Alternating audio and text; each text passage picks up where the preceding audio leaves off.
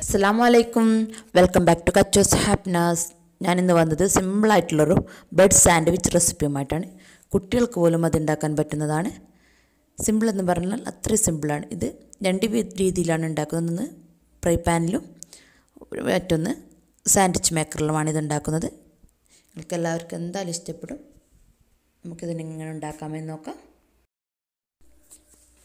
ഇതിന് വേണ്ടത് കുറച്ച് ടൊമാറ്റോ സോസ് മയോണൈസ് ഹോം മെയ്ഡാണ് ഇതിന്റെ റെസിപ്പി ഇതിന്റെ കൂടെയുണ്ട്. കുറച്ച് ബ്രെഡ് പീസ് കക്കിരി ഇതുപോലെ കട്ട് ചെയ്ത് കുറച്ച് ചിക്കൻ ഉപ്പും കുരുമുളകും മുളക് പൊടി ഇട്ട് ഫ്രൈ ചെയ്തെടുത്തതാണ്. ഇനി മയോണൈസ് നമുക്ക് എങ്ങനെ ഉണ്ടാക്കാമെന്ന് നോക്കാം. മിക്സിയുടെ ജാറിലോട്ട് രണ്ട് മുട്ട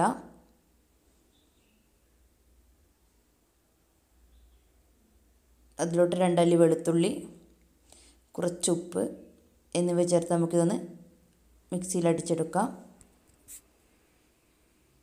ഞാൻ അടിച്ചെടുത്തതാണിത്. ഇനി ഇതിലോട്ട് ഒരു അരക്കപ്പ് ഓയിൽ ചേർത്ത് നമുക്ക് ഒന്നുകൂടി ഇതൊന്ന് അടിച്ചെടുക്കാം. നമ്മുടെ മയോണൈസ് ഇവിടെ റെഡി ആയിട്ടുണ്ട്.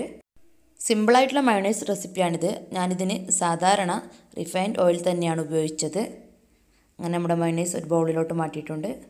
നമുക്ക് ഫ്രൈ പാനിൽ ഉണ്ടാക്കുന്ന സാൻഡ്വിച്ച് റെഡിയാക്കാം. അതിന് വേണ്ടി ഒരു ബ്രെഡ് പീസിൽ മയണൈസ് നന്നായി സ്പ്രെഡ് ചെയ്ത്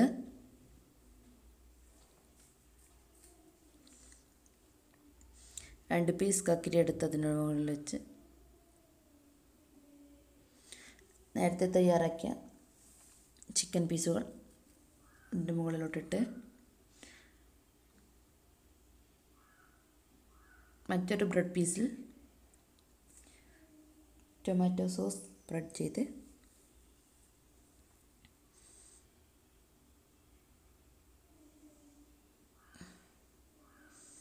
നേരത്തെ തയ്യാറാക്കിയ ബ്രെഡിന് മുകളിലായിട്ട് നമുക്കിത് വെച്ച് കൊടുക്കാം.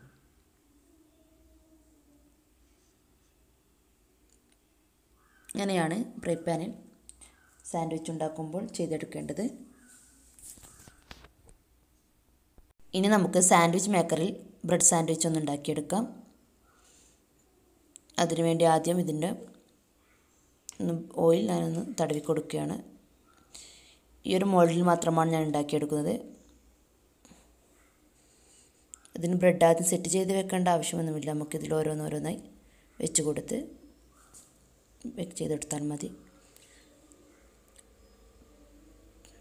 നേരത്തെ ഉണ്ടാക്കിയതുപോലെ തന്നെ ആദ്യം ബ്രെഡിൽ മൈനസ് ചെയ്ത്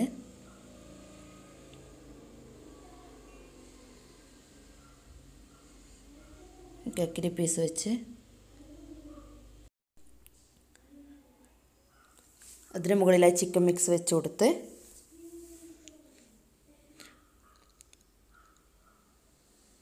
മറ്റൊരു ബ്രെഡ് പീസിന് ടൊമാറ്റോ സോസും ചെയ്ത് നമുക്ക് നേരത്തെ പാൻ പിസയ്ക്ക് വേണ്ടി ഉണ്ടാക്കിയതുപോലെ തന്നെ ഇതൊന്ന് സെറ്റ് ചെയ്തെടുക്കാം.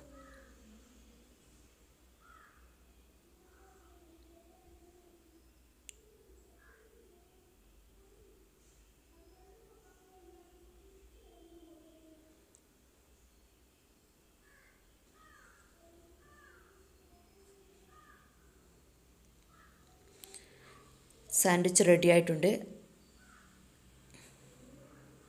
രണ്ട് മിനിറ്റ് മൂന്ന് മിനിറ്റോ മതിയാവും. അപ്പോൾ തന്നെ അതിന് റെഡിയായി കിട്ടും. നമുക്കിത് ഇതിൽ നിന്നും മാറ്റാം. ഇനി നമുക്ക് പാനിൽ ബ്രെഡ് സാൻഡ്വിച്ച് എങ്ങനെ ഉണ്ടാക്കാമെന്ന് നോക്കാം. ഇവിടെ കറണ്ട് ഇല്ലാത്തതുകൊണ്ടാണ് ഒരു ക്ലിയർ ഇല്ലാത്തത്. കാറ്റും മഴയൊക്കെയാണ് വീഡിയോ ചെയ്യുന്ന സമയം.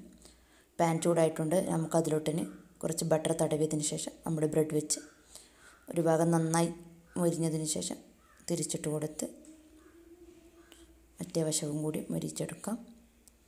ഇങ്ങനെയാണ് പാനിൽ സാൻഡ്വിച്ച് ഉണ്ടാക്കുന്നത്. പക്ഷെ കാണാൻ പെർഫെക്റ്റ് നമ്മുടെ സാൻഡ്വിച്ച് മേക്കറിൽ ഉണ്ടാക്കിയത് തന്നെയാണ്. നമ്മുടെ നമ്മുടെ സാൻഡ്വിച്ച് ഇവിടെ റെഡി ആയിട്ടുണ്ട്.